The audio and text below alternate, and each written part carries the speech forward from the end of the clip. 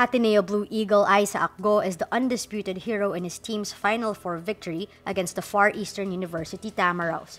Go first sinks a three-pointer that ties the game with 8 seconds left in the fourth quarter to force overtime. The Ateneo center then scores while on his knees to increase Ateneo's lead to 5 with 22 seconds remaining in overtime. Go's heroics comes 10 days after he missed a game-winning shot versus the De La Salle Green Archers. The loss against their arch-rivals prevented Ateneo from sweeping the UAAP basketball tournament's elimination round and gaining an outright final seat. After the game, an overjoyed Go jokes he would have wanted to score the game winner like University Fighting Maroon Paul Desiderio.